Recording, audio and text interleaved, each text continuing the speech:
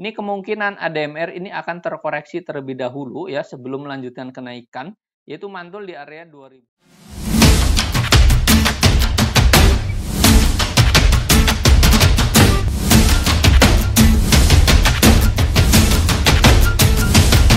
Hai, Easy to Invest. Kembali lagi bersama saya Dento dalam Akademik Saham. Pada kesempatan kali ini saya akan mengupdate emiten-emiten kembali teman-teman secara analisis teknikal. Bagi teman-teman yang baru pertama kali hadir, selamat datang dan selamat menonton. Jangan lupa dukung channel ini dengan cara subscribe, like, dan komen. Serta bagi teman-teman yang memang belum gabung di grup Telegram, silakan gabung untuk mendapatkan informasi terbaru secara real time. Baik, kita akan membahas yang pertama itu dari IHSG terlebih dahulu untuk hari ini. IHSG ini ditutup di akhir sesi 2 ini menguat ya sebesar 1,58 persen dan tutupan closingannya ada di area 7.148. Nah, hari ini IHSG ini perdagangan terakhir di bulan Mei dan ditutup dengan angka yang cukup bagus yaitu masih di angka psikologis eh, 7.000 ya yang memang hari ini melanjutkan penguatannya dari hari kemarin ya. Sempat kemarin menguat tipis namun tetap hari ini menguat lagi dan ini sangat-sangat e, bagus ya sebenarnya untuk pergerakan IHSG karena memang hari ini berada bertahan di atas area level Fibonacci di e, 61,8-nya. Nah, ini teman-teman bisa lihat di sini untuk area Fibonacci ini masih bertahan. Jadi ini so far masih cukup oke okay pergerakan dari IHSG sendiri ya. Di sini untuk area resistennya IHSG itu ada di 7174 ini sebagai area resisten pendek untuk IHSG dan untuk supportnya masih sama itu ambilnya dari area Fibonacci 61,8-nya. Nah, di area sini adalah sebagai area eh, apa area support. Nah, namun teman-teman tetap waspada karena memang ini sudah naiknya tinggi dan ini belum adanya koreksi normal kembali. Jadi tetap teman-teman jangan terlalu agresif intinya kalau memang teman-teman untuk trading ya sesuaikan dengan trading, sesuaikan dengan style tradingnya dan porsinya. Nah untuk style trading bagi yang belum tahu teman-teman bisa cek video yang ada di uh, YouTube ini ya yaitu dengan uh, judul style trading. Nah silakan cek teman-teman ya. Dan untuk pergerakan dari ISG ini cukup menarik ya untuk uh, di bulan Juni nanti ke depan apakah memang masih menguat atau tidak. Nah, kita lihat ya. Nah, untuk secara uh, weekly-nya atau secara monthly-nya kita lihat untuk uh, eh, IHSG ya. Ya, teman-teman bisa lihat hari ini untuk pergerakan monthly dari IHSG. Nah, IHSG hari ini bergerak uh, naik ya. Namun ini kita lihat dari monthly-nya di sini untuk IHSG itu minus ya totalnya minus sebesar 1,1 eh, persen. Nah di sini untuk uh, di bulan Mei ini ditutup minus 1,1 persen. Nah apakah di bulan Juni akan minus atau tidak? Tentu kita akan lihat. Nah untuk volume transaksi di bulan Mei di sini cenderung di bawah rata-rata memang di angka di sini di 299 memang cenderung sepi ya dibandingkan di bulan sebelumnya. Nah terlihat di sini untuk uh, jajaran di bulan sebelumnya itu dari bulan April, kemudian bulan uh, sebelumnya ada Maret juga. Nah, apakah di bulan Juni sama untuk pergerakan IHSG atau uh, cenderung menguat atau tidak? Nah, kita lihat nih nanti untuk saham-saham yang memang teman-teman patut cermati juga nih untuk pergerakan di bulan Juni. Nah, kita lihat ya. Nah, untuk pergerakan komposit ini seperti ini dan kita lihat untuk transaksi asing hari ini Asing hari ini mencatatkan net buy terhadap saham-saham dari sektor energi dan perbankan. Nah, ini salah satunya dari ADMR.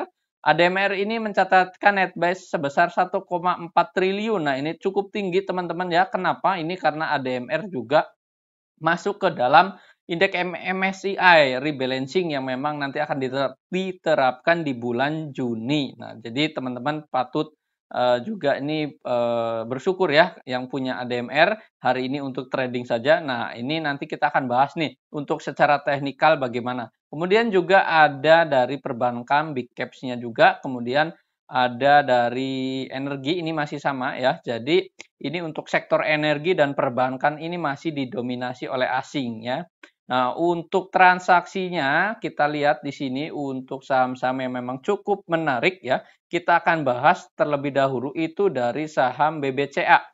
Ya, saham BBCA kita lihat hari ini pergerakan naik sebesar 2,3 persen ya. Ditutup di area angkanya 7.750. Nah, pergerakan BCA bagaimana? Nah, sempat menyentuh area level low-nya itu di area 7.525. Nah, hari ini ditutup naik dan candlenya cukup bagus disertai juga dengan uh, volume di atas transaksi. Plus juga di sini teman-teman bisa lihat RSI-nya ini breakout dari area resistennya di area 49 ini sebagai area resistennya dan hari kemarin ini terus melanjutkan kenaikan ini berpotensi peluangnya masih uh, bagus ya untuk lanjut naik. Nah, teman-teman bagi yang belum punya ini boleh cicil beli terlebih dahulu atau tunggu di area support di area 7475 kalau dikasih tentunya. Nah, ini untuk pergerakan BBCA ini cukup menarik untuk long investing juga untuk jangka panjang ya. Jadi bagi teman-teman yang suka untuk investasi jangka panjang, BBCA adalah salah satunya. Nah, ini untuk pergerakan BCA secara teknikal, support di 7475 ini sebagai area support dengan target resistennya ada di 8250. Nah, tentu saja kita harus melihat terlebih dahulu dari uh, target jangka pendeknya teman-teman ya di area sini itu di area 7925 ini sebagai area target untuk saham BCA untuk jangka pendek terlebih dahulu ya. Silakan teman-teman catat ya. Nah, untuk transaksi BCA hari ini bagaimana? Transaksi BCA hari ini adanya net buy sebesar 391 miliar. Untuk broker summary hari ini ada RX, ada JP, ada AK di sini ada akum dari RX terlihat sangat jelas di sini transaksinya cukup tinggi.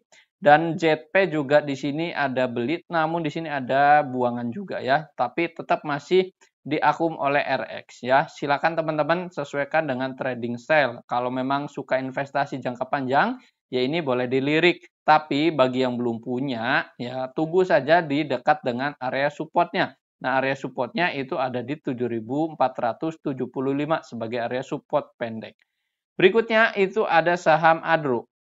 Ya, Adro ini cukup menarik pergerakan hari ini sempat menyentuh di area high-nya itu di 3290 ya. Ini ditutup areanya di 3270. Nah, closingannya di 3270 naik sebesar 6,9 persen. Nah, teman-teman juga bisa lihat di sini untuk pergerakan uh, saham Adro ini naik cukup signifikan juga hari ini ya. Dan uh, di sini teman-teman bisa gambarkan di sini adalah volume price-nya di area 7000 uh, eh, sorry 3200-an di area sini ya. 3200 3300 ini pergerakannya masih banyak ya. Terlihat dengan jelas di sini. Kalau teman-teman lihat ini ada uh, warna grey ini adalah sebagai volume at price. Jadi orang-orang atau investor yang punya harga di area 3.200, 3.700, eh, sorry 3.270 ini masih banyak terbukti dari palung yang ada di area sini itu cukup tinggi ya ini untuk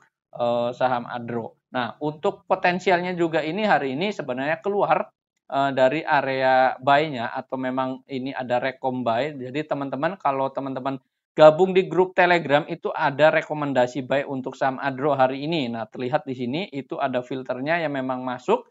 Di sini buy untuk saham Adro dan ada beberapa saham lainnya. Nah, kita akan bahas nanti ya. Nah, untuk pergerakan Adro silakan catat area support dan area level resistennya. Nah, ini untuk Adro ini cenderung menguat untuk perdagangan esok hari. Ini bisa saja karena memang volume transaksi cukup tinggi disertai juga dengan RSI-nya memang naik ke atas ini uh, setelah breakout dari trend line-nya di area sini RSI-nya dan ini melanjutkan kenaikan peluangnya terbuka lebar. Support di 3030 ini masih cukup jauh supportnya dan untuk area uh, TP-nya itu ada di 3380. Ini untuk TP pertama dan TP kedua di area 34 atau 3410 ya di area sini. Nah, untuk teman-teman yang belum punya, ini boleh strateginya untuk trading jangka pendek ini boleh saja untuk area TP-nya disesuaikan saja dan nanti teman-teman bisa cek untuk support dan resistennya di bot ya eh, di grup akademik saham. Nah, kemudian untuk dari asingnya gimana untuk saham Adro? Hari ini adanya net buy sebesar 344 miliar, ini cukup tinggi ya, bahkan Uh, dari kemarin kan sudah net sell, hari ini adanya net buy ya. Untuk broker summary hari ini ada AK, ada BK, ada JP dan disertai juga ada Akum di sini terlihat jelas karena AK ini cukup transaksinya cukup tinggi, kemudian BK juga cukup tinggi. Jadi ini yang masuk ini cukup populer juga ya. Jadi silakan teman-teman sesuaikan mau trading jangka pendek untuk short term ini boleh saja. Nah, lebih bagus kalau dia breakout sebenarnya e, dari 3460 nanti melanjutkan kenaikannya cukup tinggi peluangnya. Nah, untuk dari sini juga teman-teman dari garis trendline ini belum menyentuh garis trendline atas, artinya ini berpeluang e, melanjutkan kenaikan ini peluangnya terbuka lebar. Nah, silakan sesuaikan dengan trading style teman-teman ya. Nah, untuk saham berikutnya itu ada saham ADMR. Ya, ADMR juga sama hari ini minus sebenarnya hari ini naik ya, sempat menyentuh high-nya itu di 2500. Namun di sesi 2 di akhir-akhir sesi itu turun ya. Karena apa? Karena adanya profit taking dari para investor. Nah, terlihat jelas di sini volume transaksi cukup tinggi. Jadi ini tetap waspada teman-teman karena memang transaksinya cukup tinggi. Hari ini volumenya tinggi juga disertai dengan net buy asing yang cukup dalam. Nah, terlihat di sini untuk net buy asingnya yaitu sebesar 1,4 triliun. Nah, kenapa kok eh, asing masih melakukan net buy dan eh, candle-nya candle-nya juga merah? Kenapa? Karena memang adanya eh, MSCI rebalancing yang akan diterapkan pada bulan Juni ya awal Juni ini salah satunya ADMR itu masuk ya begitu juga dengan AMRT dan Inco itu masuk makanya hari ini investor asing juga masuk ke dalam saham ADMR meskipun minus tapi teman-teman harus sesuaikan juga nih untuk trading jangka pendek atau trading uh, swing ya. Karena memang asing kan memang masuk memburu untuk uh, investasi juga kemungkinan ya, tapi untuk uh, tradingnya ya kita harus lihat juga apakah masih cukup menarik atau tidak ya. Nah untuk pergerakan ADMR supportnya itu ada di 2130 di area sini ini sebagai area support dan untuk TP-nya di 2500. Nah teman-teman bisa dilihat di sini kalau dia nembus di area TP di 2500 atau di garis dynamic pivotnya di 2500 yang warna biru ini Cukup menarik pergerakannya nanti bisa muncul sinyal buy di uh, di analisisnya juga nih bisa muncul sinyal buy. Tapi ini kemungkinan ADMR ini akan terkoreksi terlebih dahulu ya sebelum melanjutkan kenaikan yaitu mantul di area 2130 sampai di 2030 eh, di area sini. Nah, baru dia bisa uh, menguji area retest kembali di 2500. Kalau dia kuat, dia langsung break bisa saja Eh, ke area 2790. Nah, kalau dia break di area 2500 ya. Tapi kalau dia gagal break ya dia akan membentuk uh, setway-nya terlebih dahulu. Nah, di sini juga kan ini masih dalam zona setway atau masa konsolidasi. Nah, terlihat jelas dari area sini dia belum break dari area masa konsolidasi di teritori di 2130 sampai di 2500. Ini adalah teritori setway-nya atau masa konsolidasi. Nah, masa konsolidasi ini bagus tidak sih sebenarnya? Masa konsolidasi ini adalah cukup bagus karena apa? Karena biar dia membentuk terlebih dahulu di sini untuk pergerakannya ini sebagai tumpuan atau sebagai uh, dimension di area sini. Jadi nanti terlihat jelas juga di sini uh, dengan warna apa grey-nya di area sini ya. Ini dari volume at price-nya di sini ini cukup tinggi palungnya. Nah, terlihat sampai sini ini cukup tinggi, jadi otomatis di area sini sebagai dimension juga ya untuk pergerakan ADMR. Nah, silakan sesuaikan saja untuk eh, apa masuknya mau di area mana. Tunggu di area support di 2130 sampai di 2 2000-an ya atau psikologis 2000 ya atau memang teman-teman tunggu area breakout di 2500. Nah, ini tunggu sinyal buy di 2500 kalau memang mau nunggu buy if breakout. Nah, untuk RSI-nya juga ini uh, sedikit turun ke bawah, tapi ini masih di area dekat dengan area uh, sini ya, dekat dengan area support dari trend lainnya. Namun tetap sekali lagi sesuaikan dengan trading plan. Meskipun asing hari ini masuk, tapi teman-teman uh, ya kita lihat dulu di sini untuk area masuknya lebih aman di area mana ya. Jangan sampai teman-teman langsung HK ternyata masih bisa turun. Jadi kita bisa dapat base price-nya ada di area mana ya untuk saham ADMR. Nah, untuk ADMR kan tadi ini di sini ya untuk uh, asing 1,4 triliun. Nah, ini untuk saham ADMR. Berikutnya kita akan bahas dari saham lainnya itu ada saham ITMG. Ya, ITMG hari ini sudah dilihat ya atau teman-teman kalau simak video sebelumnya itu ada saham ITMG itu uh, cukup bagus sebenarnya ya untuk pergerakan ITMG ya sudah dibahas juga. Nah, selamat bagi teman-teman yang memang sudah cuan. Dan tadi pagi juga muncul adanya watchlist di ITMG ini di pagi hari. Ini ya kalau teman-teman perhatikan juga bisa cuan juga hari ini sebenarnya. Kalau memang suka untuk saham ITMG. Nah, pergerakan ITMG ini kan naik sebesar 6,9 persen. Di area tutupannya itu di area pas sekali di 35.000. Nah, ini sampai mana sih pergerakannya? Memang untuk ITMG ini uh, cukup menarik sebenarnya karena memang salah satu uh, emiten terbesar dari sektor batu bara ini salah satunya ITMG dan diuntungkan juga dengan adanya sentimen dari China ini yang memang membuka lockdownnya. Nah, salah satunya untuk saham ITMG ini untuk ekspor ke China ini cukup tinggi juga ya, selain daripada uh, apa emiten-emiten batu bara lainnya. Nah, kita lihat di sini untuk pergerakan ITMG bagaimana. Nah, untuk ITMG ini masih peluangnya terbuka lebar untuk melanjutkan kenaikan didukung dengan RSI-nya itu di atas 70. Nah, ini menarik teman-teman ya. Kalau teman-teman lihat atau belajar RSI ketika di atas 70 eh, di area RSI-nya ini ini masih bisa melanjutkan kenaikan sebelum mencapai angka 100. Nah, volume transaksi di rata-rata ini cukup menarik. Nah, yang menarik ini target dari ITMG itu eh, saya mengambil areanya itu ada di 38.500 ini untuk jangka uh, menengahnya ya sebenarnya untuk jangka menengahnya di area sini di 3.000 uh, 38.500. Nah, ini diambil dari mana? Ini diambil dari area sini teman-teman di area palung paling atasnya juga di sini. Di area sini harus disentuh terlebih dahulu ya. Sebenarnya ITMG kan sudah mencapai 60.000, tapi kita lihat di sini pergerakannya masih cukup menarik ya untuk sampai ke 3.000 apa 38.500 ini ya memungkinkan saja sih sebenarnya, tapi sesuaikan dengan ekspektasi juga teman-teman ya. Kalau memang tidak sesuai dengan uh, targetnya ya siap cut loss juga ya untuk uh, eh, ITMG atau profit taking ya teman-teman ya. Nah, untuk area supportnya itu pendeknya ada di 31825. Ini sebagai area support pendeknya, teman-teman silakan catat.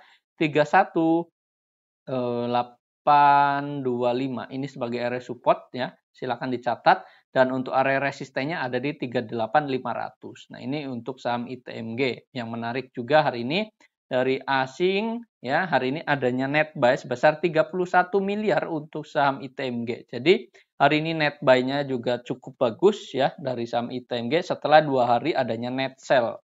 Nah untuk transaksi hari ini dari broker summary hari ini ada YP, ada CS juga di sini, kemudian ada BK. Nah yang menarik juga di sini ada CS ini masih melakukan akumulasi, terlihat dari sini sellernya tidak ada. Dan untuk BK juga ini ada masuk Memang di sini sellernya tapi uh, kecil ya, di sini tidak terlalu signifikan juga. CC juga sama dan YP ini ada hanya untuk tradingan buy saja. Biasanya dari retail-retail ini hanya untuk trading memanfaatkan uh, capital gain saja. Nah, ini untuk transaksi dari ITMG silakan catat support dan area level resistennya. Berikutnya ada saham TKIM. TKIM di sini naik sebesar 4,4 persen. Tutupan closingannya ada di 7.125. Nah, Tikim juga sudah dibahas dari video sebelumnya dan ini ada INKP juga ya di video sebelumnya. Nah, kita akan bahas Tikim terlebih dahulu. Tikim itu naik 4,4 persen, ditutup di area 7.125. Nah, ini dibahas juga di grup Telegram. Nah, tadi pagi muncul sinyal watchlistnya juga untuk saham Tikim Selamat bagi teman-teman yang memang sudah tuan uh, cuan ya. Nah, untuk Tikim teman-teman perhatikan untuk area support dan area level resistennya.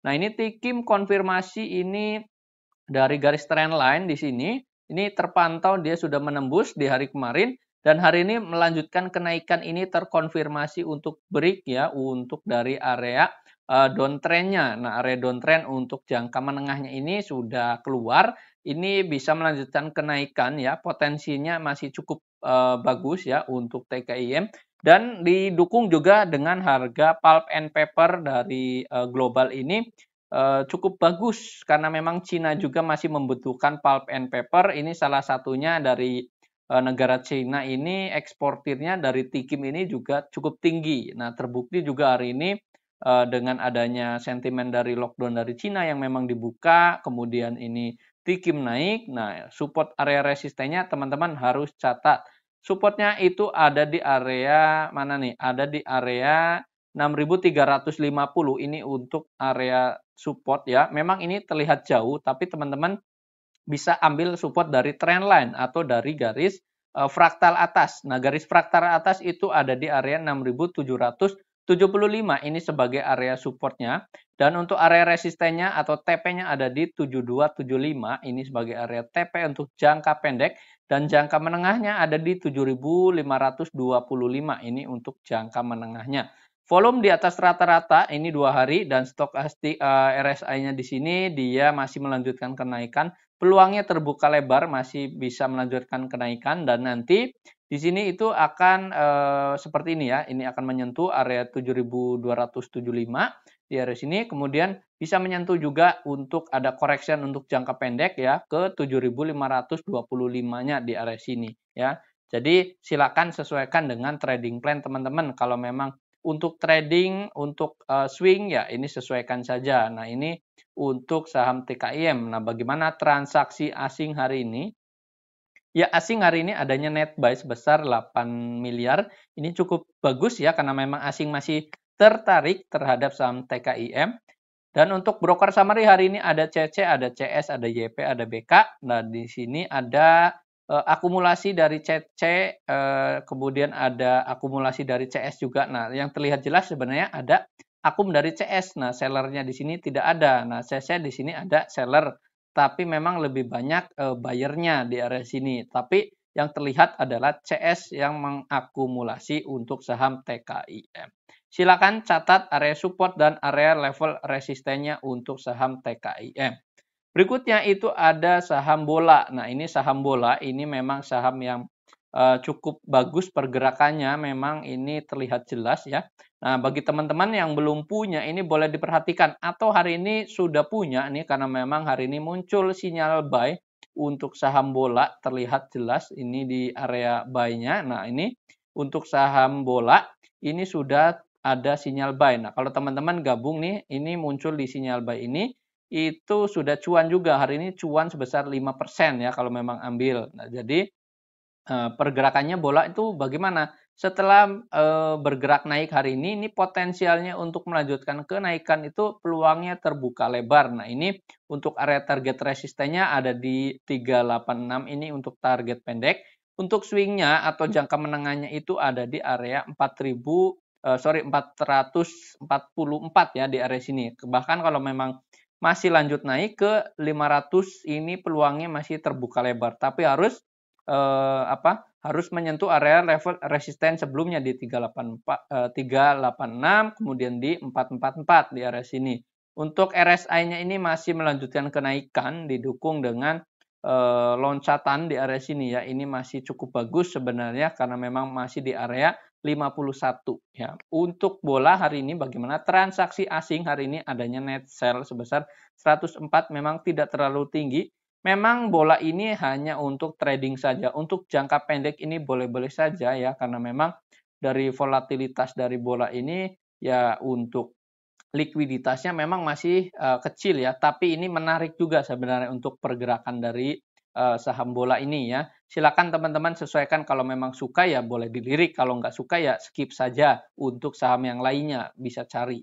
Nah untuk broker summary hari ini ada CC, ada YP, ada JET. Di sini ada CC terlihat jelas untuk akumnya, kemudian YP juga di sini ada untuk uh, pembelian. Nah memang ada uh, IN ini keluar atau memang ini ada distribusi dari IN terlihat jelas ya. Ini silakan teman-teman sesuaikan saja untuk trading uh, stylenya. Untuk trading jangka pendek atau swing trading ini boleh saja ya sesuaikan. Kalau memang tidak sesuai dengan support dan area level resistennya, teman-teman ya siap cut loss saja untuk uh, trading plan-nya ya. Nah ini untuk analisis dari saham bola.